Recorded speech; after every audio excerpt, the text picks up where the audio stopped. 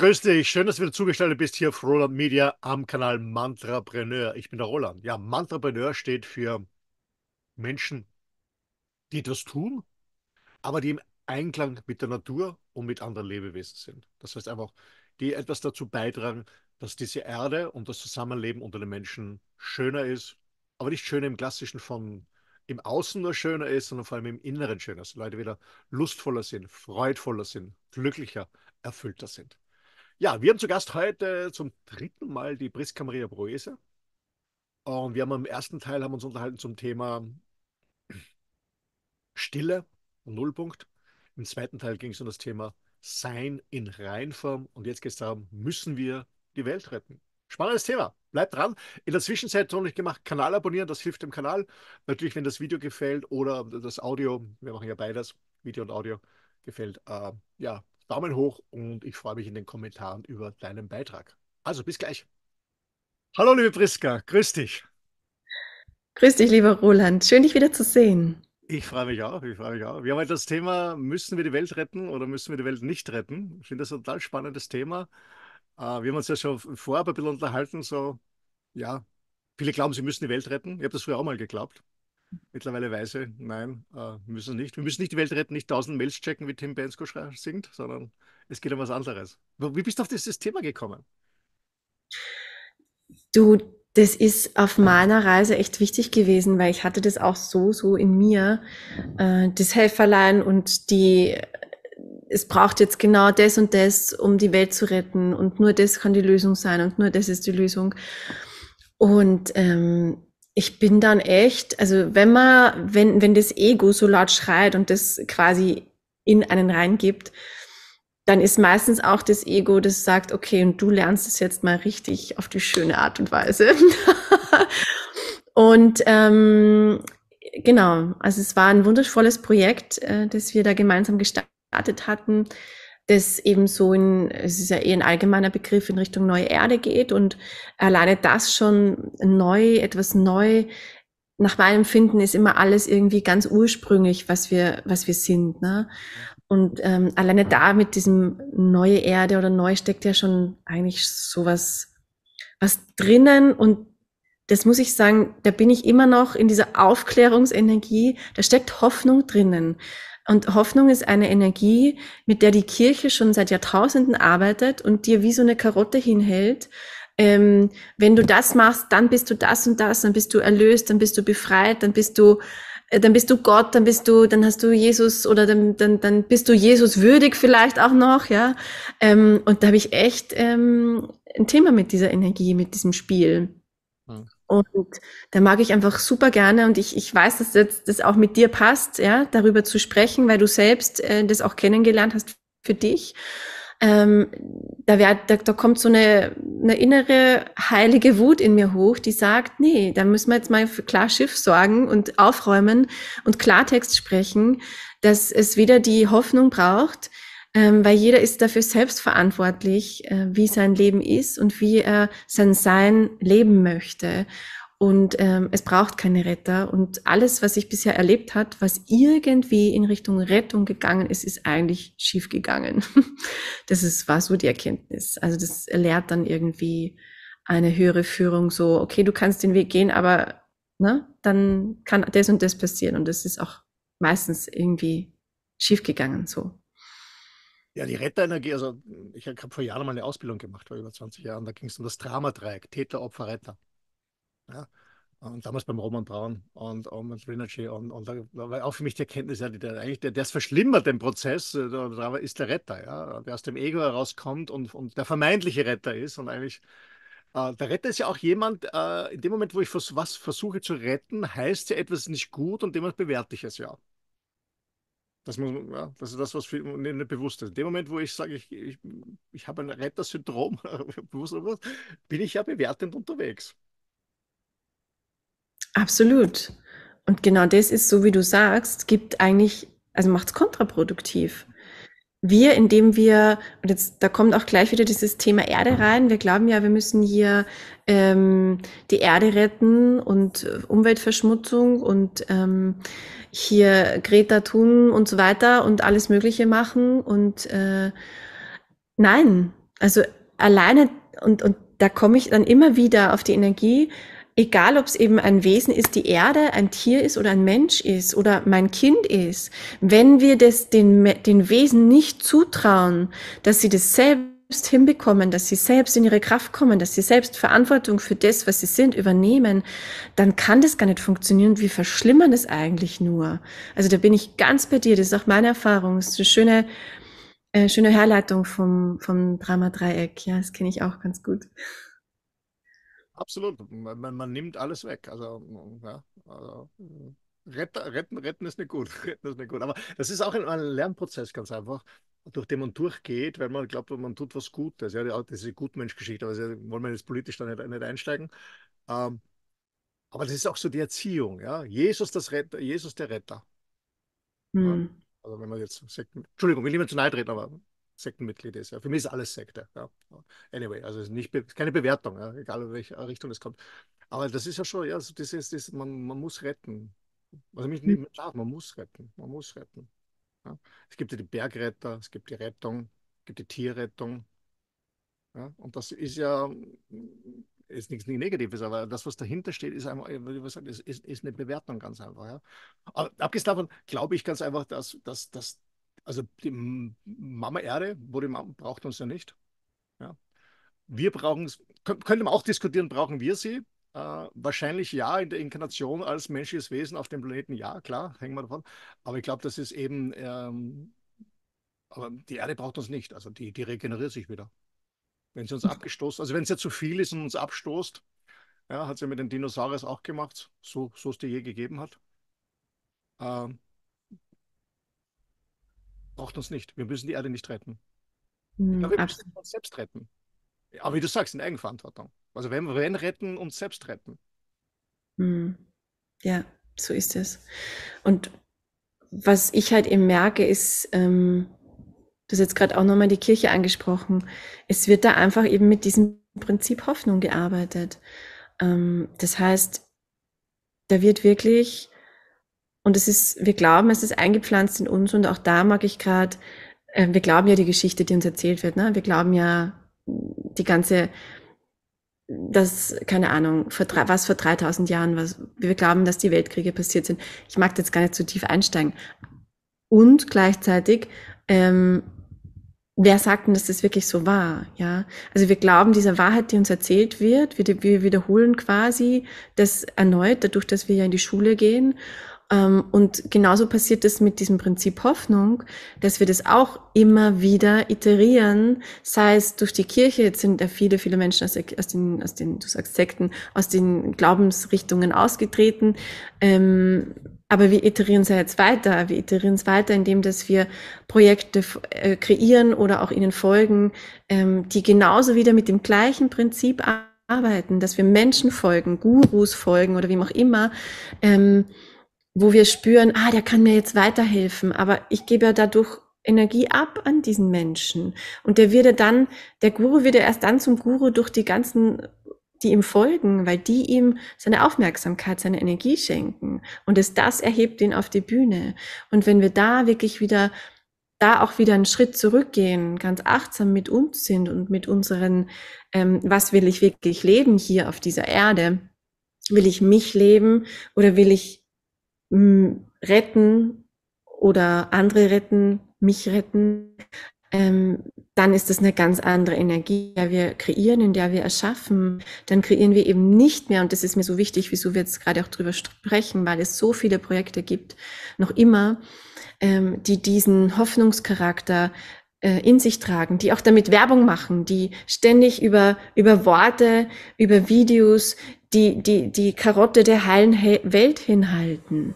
Und, ähm, und wir ja auch dann noch suggeriert bekommen, dass das Kampf im, im Außen ist, ähm, dass der Krieg natürlich ist, Israel. Ähm, natürlich, ich habe auch Freunde in Israel, die dort leben und die das mitbekommen. Und gleichzeitig ähm, fand ich das so schön, weil dieser israelische Freund dann von Freunden wiederum von mir gefragt wurde, ähm, magst du was zum Krieg sagen? Magst du was erzählen? Und dieser Mensch dann, ja, der selbst in diesem Gebiet war, sagte dann, und das war so schön, sagte dann, wieso soll ich dort gerade mit meinen Gedanken hingehen, wenn ich jetzt hier bin? Und hier ist Frieden. Und wenn wir das alle machen würden, dann bräuchten wir diese ganzen Spielchen, die dann im Außen passieren, überhaupt nicht mehr.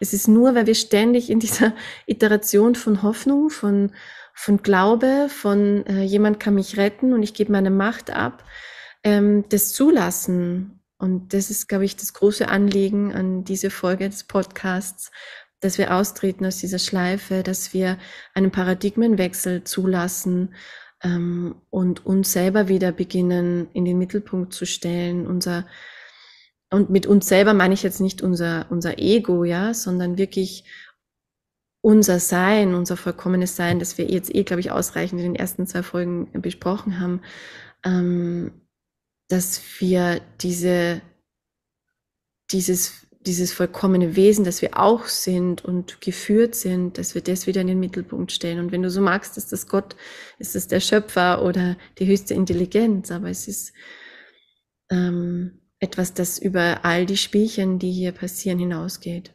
Hm. Mhm. Der Großteil der, unserer, unserer Mitbrüder und Mitschwestern ist ja gefangen.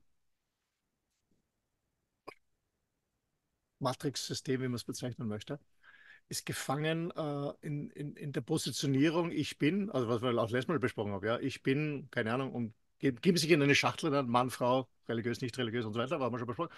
Äh, und, und, haben dazu natürlich auch die Medien äh, im Hintergrund, die ihnen natürlich nur unterstützen, würde ich sagen, entweder Hoffnung zu geben oder aber die Medien stellen uns ja Bilder, wenn, keine Ahnung, Flugzeugabsturz in Hindukusch. Mein Gott sei Dank bin ich nicht geflogen. Äh, und da gibt es ja noch welche, denen geht es noch beschissener als mir. Ja, das gibt ja auch wieder Hoffnung für das eigene, dass das nicht so schlimm ist. Das ist ja das, was passiert, ja. Und weil du das auch angesprochen hast mit der Geschichte, also mein erstes Studium durfte ich in Graz an der Karl-Franzens-Universität also bis Mitte zweiter Abschnitt bin ich ausgestiegen, weil ich gemerkt habe, die Geschichte, die hat so nie stattgefunden. Ja, das, das, diese Lüge von diesem Zeitkontinuum, also wir sind vom Affen, haben uns weiterentwickelt und es wird immer besser. Nee, ich glaube, ja, es geht nicht besser, es geht bergab. Ich bin ja oft gegeißelt worden im amerikanischen Fernsehen, weil ich gesagt habe, nee, nee, nee, ich glaube nicht an das Ding. Ähm, also, es, das Leben ist bequemer geworden gegenüber dem Mittelalter, das ist keine Frage. Ja, wir haben einen Geschirrspüler, wir haben eine Waschmaschine, wir haben ein Auto, wir haben keine Ahnung was. Ja. Es ist bequemer geworden, aber es ist nicht besser geworden. Ja. Es ist hm. nicht besser geworden. Ja. Ja, ist spannend, was du da gerade beschreibst. Besser und, und gut und so, das sind auch witzigerweise immer Worte, ähm, die, die mir begegnen. Ähm, wir also ich bin ja noch immer in einem Projekt sehr engagiert und mit meinem vollen Sein äh, wirklich dem zugetan, das abgeleitet ist von, von einer Vision des Guten. Und wir werden da oft gefragt, auch beim großen Kongress, den wir da in dem Rahmen veranstaltet haben, wieso wählt ihr das Wort gut? Ähm, bedingt es nicht auch oder lädt ihr da nicht vielleicht sogar das Böse ein? Und ich liebe es immer tatsächlich darauf zu antworten, weil ja, es ist eine Einladung. Es ist eine Einladung, dass das vermeintlich Böse, und ich sage bewusst vermeintlich, gibt es denn das Böse ähm, tatsächlich? Und wenn wir all unsere dunklen Seiten, unsere Schatten gesehen haben, oder zumindest ein Großteil, ja, ob wir alle, ja, wir sind ja alle am Weg, aber einen Großteil da schon erkannt und gesehen haben und uns äh, mit unserer Angst beschäftigt haben, können wir denn da wirklich das Böse einladen oder stehen wir da, stehen wir wirklich vielleicht sogar einladend davor und sagen, ich bin bereit, äh, dir gegenüberzutreten und dir in die Augen zu schauen. Und ähm, damit spreche ich eigentlich in einem höheren Sinne auch von der Matrix, ja, die wir ja zum einen selbst kreiert haben und zum anderen da ja diese Form von, von Dualität, von Polarität, von Gut und Böse reingegeben haben.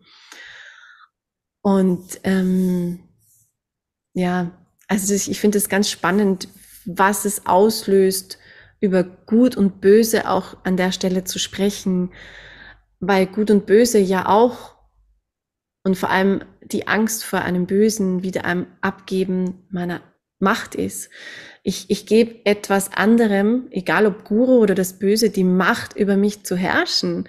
Also, Und da mag ich jetzt gerade auch nochmal zurückkommen. Du hast in irgendeinem der Podcast-Folgen nach dem Willen gefragt, ja.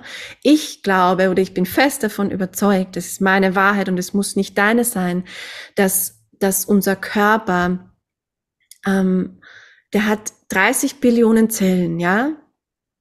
Ungefähr. Und wenn jede davon eine genetische Informationssequenz von, von Milliarden an Daten speichert, ja. Ähm, ich habe Wirtschaftsinformatik studiert, ich habe mir das mal ausgerechnet, ja. Mit anderen Worten, wenn unser freier Wille in, in jeder Zelle drin ist, in, in der DNA drin ist, wenn freier Wille ähm, unsere menschliche Evolution hervorbringt, entfalten lässt, ja. Und wenn ich mir das ausrechne mit den 30 Billionen Zellen und wenn da jeder einzelne angenommen 3,2 oder 3 Milliarden Daten oder mehrere Milliarden Daten speichert, ja, dann haben wir eine, einen freien Willen, der uns ausmacht, in einer Länge von 100 Milliarden Kilometer, die uns ausmacht, freier Wille. Und dann kann mir irgendwie niemand erzählen, ähm, dass wir Opfer sind oder dass, dass da etwas Böses gibt oder dass, dass äh, ich jemand anderen die Macht abgeben kann. Also das ist schon echt spannend und umgerechnet sind es übrigens 7000 Mal die Länge vom Mond hin und zurück, die unseren freien Willen in der Genetik ausmacht. Und dann möchte ich nochmal über, über Hoffnung, über Macht abgeben oder über Opfer reden. wenn man solche Zahlen sich mal verinnerlicht und auch fühlt oder bereit ist und zulässt, die zu fühlen und zu spüren. Ich meine, es ist ja in uns, in uns das, das Gute und das Böse ist ja in uns. Es ist ja beides in uns drinnen. Ja. Ich sage mal, manche haben einfach nur viel zu Schiss vor den Konsequenzen, um das Böse rauszulassen. Ja. Die unterdrücken es halt, aber in drinnen ist jeden. Ich kann mich, ich habe früher, als ich noch in, in, in, in, in der harten Businesswelt war, ich habe mm, Topmanager weltweit gecoacht mein, eine meiner Einstiegsgeschichten war immer äh, eine Studie zum Thema Narzissmus.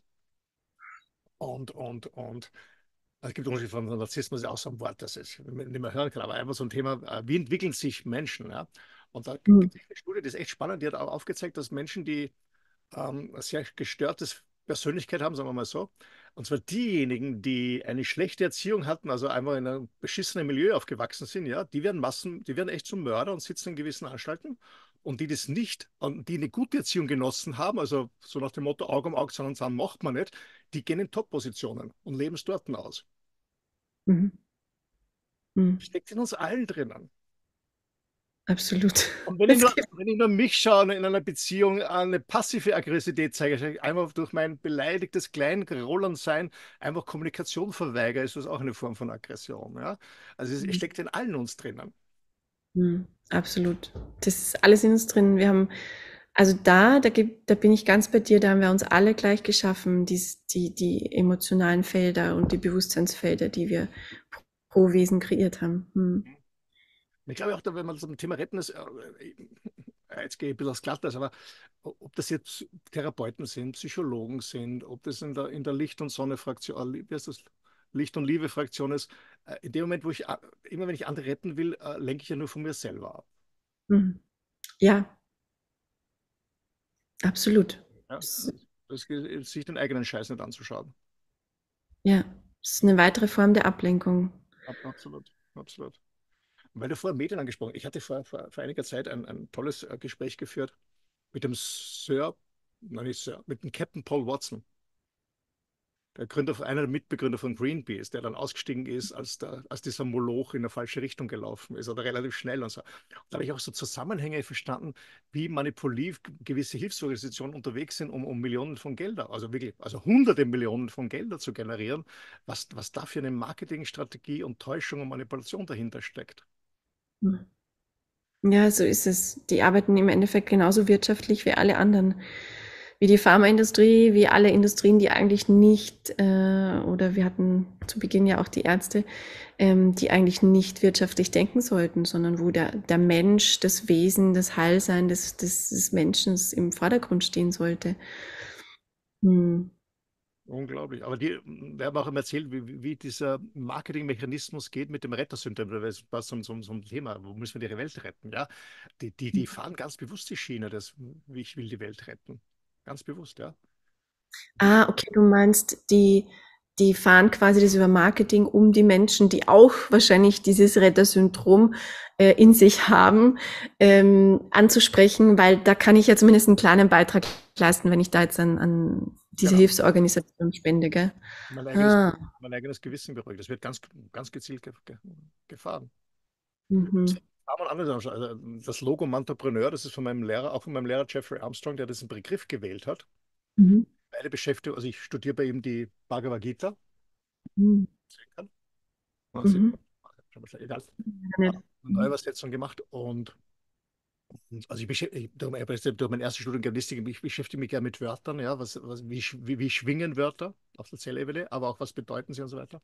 Und das Wort Entrepreneur wird bei uns so verkauft, dass der, der etwas erbringt, eine Leistung erbringt, aber wenn man genau hinschaut, ist der Ausbeuter, also wenn man sich den Wortstamm anschaut.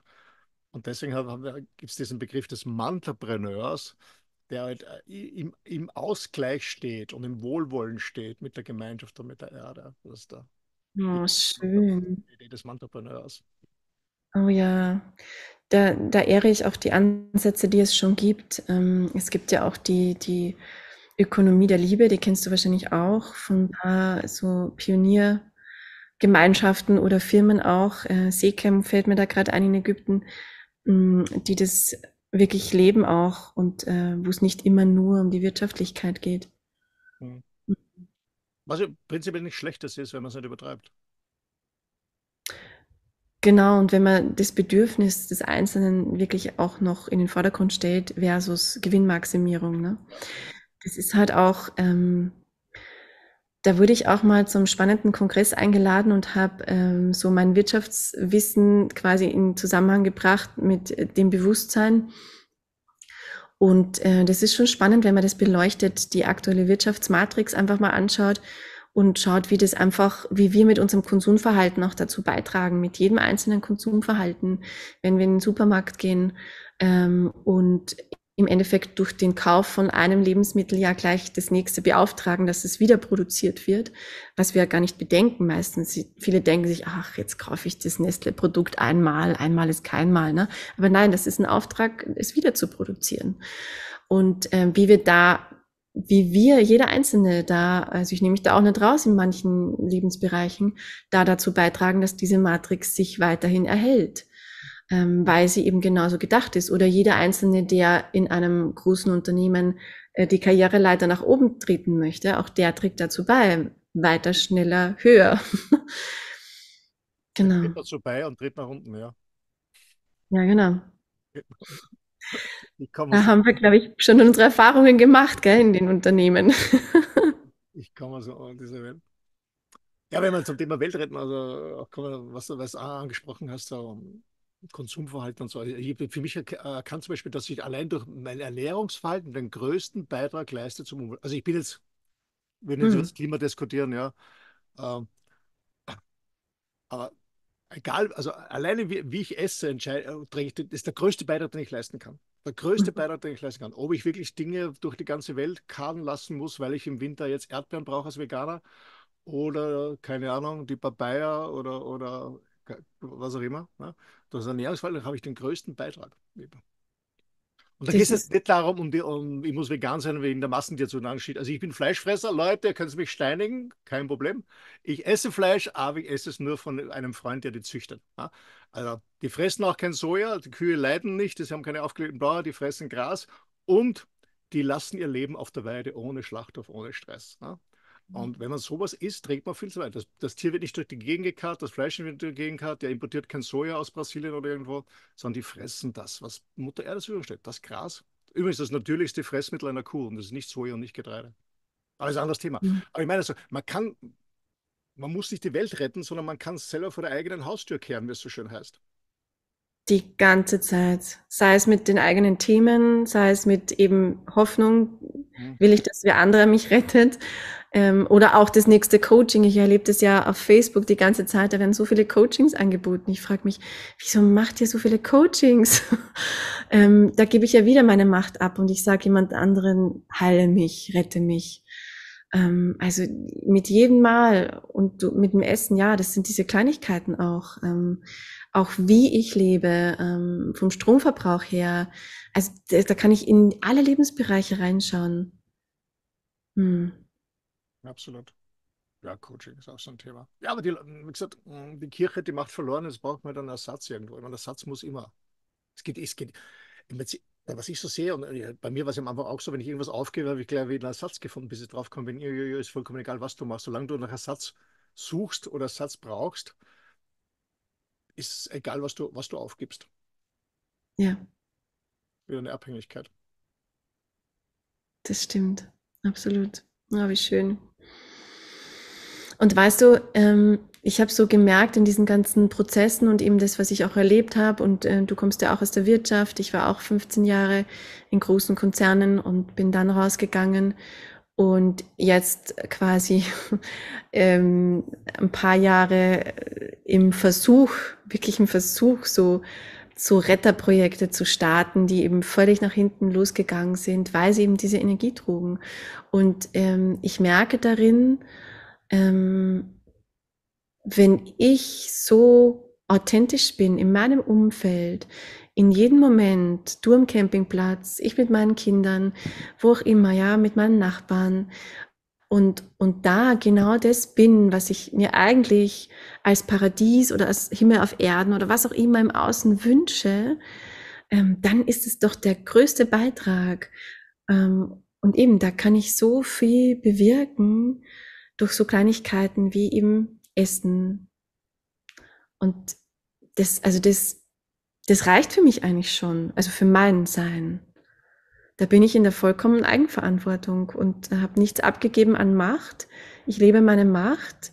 Ähm, ich vertraue, dass, dass jeder andere, und trau, ich traue es jedem anderen zu, dass er sich selbst rettet oder sich selbst, um, sich selbst lebt, vielleicht noch schöner gesagt.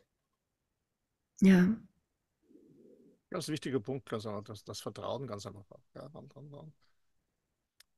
Gestern hat mich jemand äh, gefragt, äh, ich wollte also ein Business Coaching von mir haben. Ne? Die baut gerade so ein Geschäft auf und Business Coaching. Also, wie schauen die Pakete bei dir aus? Sag ich, was meinst du unter Paket oder so? Naja, wie viele Einheiten und so? Sag ich, nee.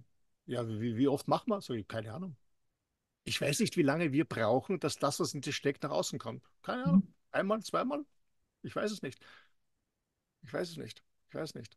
Und viele, und viele Leute glauben ja, ich glaube, das ist einfach unsere Konsumgesellschaft. Ja? Wir, egal was es ist, egal was es geht, wir, wollen immer was haben. Also wir sind erzogen worden, du kannst alles kaufen.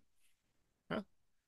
Du kannst alles kaufen. Egal, du hast Hunger, kauf was zum Essen. Ja? Wer, wer kann heute noch selber für sich selber sorgen? Oder wenn es einen Kollaps gibt, wer kann ohne Supermarkt noch überleben zum Beispiel? Ja? Also nicht Essen kaufen, sondern kannst das selber produzieren, kannst das selber jagen ich stehe dazu, ich schlachte Hühner und Karnickel, äh, ich, ich, kann das, ja, aber kannst, kann, kannst du das selber? Wir sind so erzogen worden, für alles gibt es eine Lösung und wenn ich da, da habe ich ein Bull voll, da brauche ich einen Coach, da brauche ich einen spirituellen Meister. Keiner will wir selber was tun. Jeder will die Abkürzung, jeder will die, die Wunderbille haben. Egal, mhm. was es ist. Ja. Schnell muss es gehen. Ja. Also es war bei mir früher auch so. Also wenn, war noch nicht so lange aus, vor einigen Jahren, als ich eine Partnerin hatte, die mich so ein bisschen zum Thema Emotionen hingeführt hat, dass ich Zugang kriege, habe ich gesagt, ja, ja, und ein klassischer Mann, habe ich verstanden, das Warum, ich, du kennst ja diese, diese, diese, das Formatsystem, das Warum, das Was, das Wie und was Wenn, ja, also wie wir mhm. lernen, ja, also zuerst braucht man eine Motivation, warum war klar, jetzt als Mann, was muss ich tun, sag mal, was ich muss tun, okay, wie muss ich es tun, ja, diese, eben nicht dieses ins Vertrauen gehen und, und ins Sein zu gehen, sondern einfach, ja, Lösung, okay, was ist der nächste Schritt, was ist der nächste Schritt, was ist der nächste Schritt, das heißt, wo kann ich mich festhalten, halten, wie kann ich meine Kontrolle über den Prozess, und das geht es ja darum, wie kann ich die Kontrolle über den Prozess behalten, die vermeintliche Kontrolle. Und ich glaube, das ist eins, also wie du das siehst, liebe Priska, aber das ist eins so unserer Dinge in unserer Gesellschaft. Wir wollen alles immer kontrollieren können. Mhm. Und vergessen dabei aufs Leben. Mhm. Ja, und was steckt hinter der Kontrolle? Die Angst. Die Angst. Weil was ist, wenn wir uns fallen lassen? Ich mache zum Beispiel super gern für mich selbst, aber auch ähm, in diesen Erfahrungsräumen, die ich so aufmache, egal ob in der Höhle oder wo auch immer, ähm, mache ich gern oder gebe ich gern dieses Bild. Was ist, wenn du jetzt von einem ganz hohen Berg dich fallen lässt? Und dann, und dann beginnen die mal zu visualisieren und, und da reinzugehen in solche Bilder und sich da wirklich mal fallen zu lassen in ein Nichts, ähm, das, wow, das macht so viel auf an, ich muss das nicht mehr kontrollieren. Und das muss ich ja sagen, die Dichte, die wir uns ja oft erzeugen, so auch in dieser wundervollen Krönchenzeit, ähm, die Dichte, die erlaubt es uns ja oft auch gell, aufzumachen auf einmal. Also da sind ja viele Menschen auf einmal, ähm, haben gemerkt, wow, hier wird Kontrolle ausgeübt. Ähm, und dann, dann ist auf einmal in diesen Menschen weiter entstanden.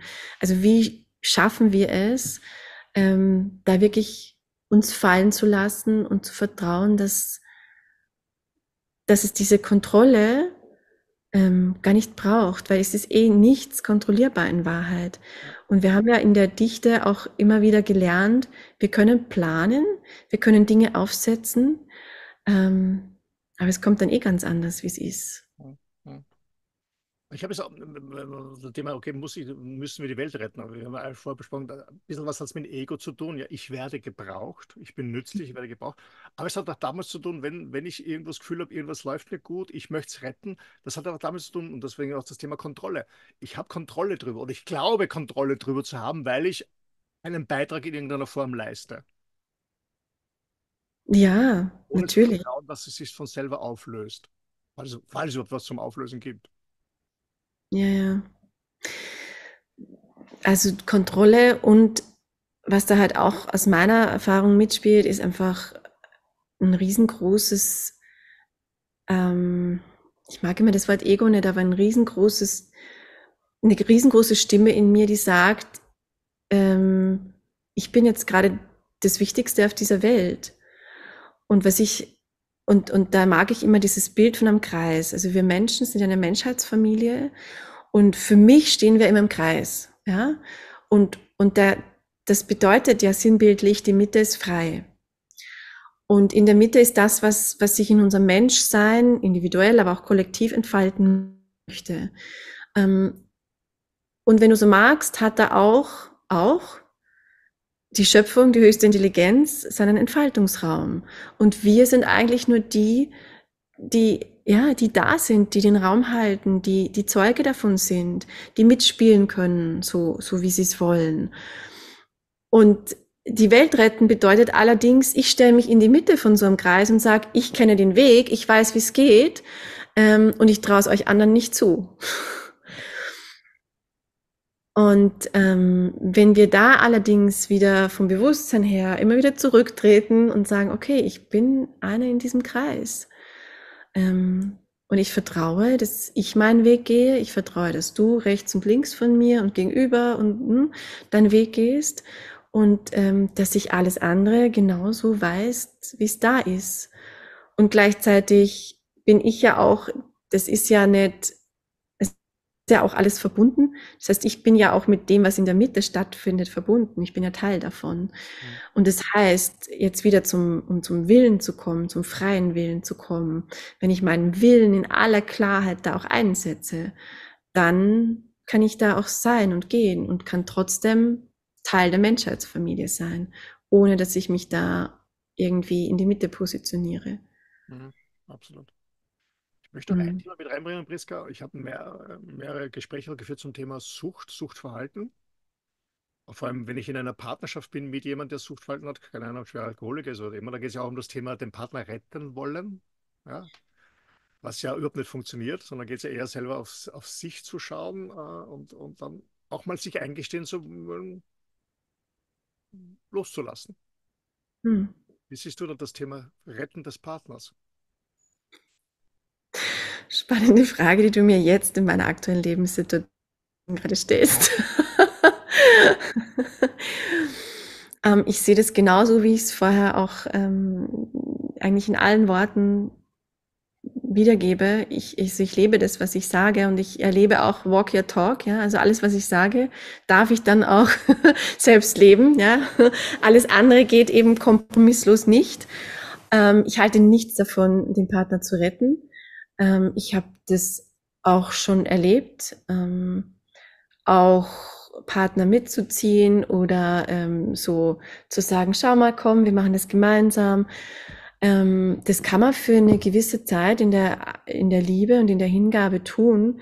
Und dann gibt es so einen Punkt, ähm, den kennst du mit Sicherheit auch, dann gibt es so einen Punkt, wo man merkt, okay, ähm, jetzt gebe ich mich auf. Also jetzt ist es wie der Punkt überschritten, wo ich, wo ich dich mitnehmen kann, wo ich ähm, dich retten will, wo ich mich vielleicht sogar, das ist ja auch oft drinnen, mich für dich aufopfere, ähm, wo ich Kompromisse eingehe.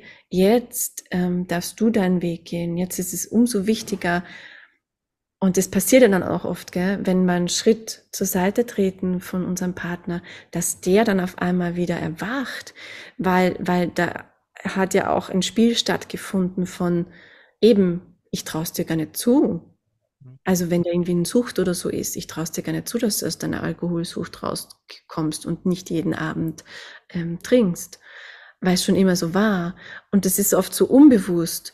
Und im Auseinandergehen und bewusst zur Seite treten und der muss auf einmal, der Partner, der, der in die Sucht war und irgendwas kompensiert hat, der musste auf einmal hinschauen. Das ist ja eigentlich die Heilung pur, die dann passiert und die wir uns dann schenken. Und dieses Geschenk darin zu entdecken, das ist natürlich, gebe ich zu, Meisterschaft unseres Seins, ja, aber ist so wunderschön. Und das ist, und das, und das haben wir leider oder viele von uns noch nicht erkannt, das ist eigentlich Liebe in höchster Form. Absolut. Jemand hat, ich glaube, die Andrea was in einem Podcast sehr schön gesagt, sie verwendet nicht das Wort Sucht, sondern Suche nach Liebe.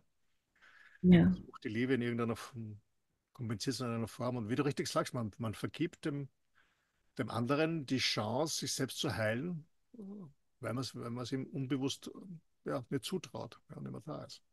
Absolut. ja. Und auch kompensiert. Also da ganz unbewusst, auch wenn man es gar nicht oft will, passiert da viel Kompensation.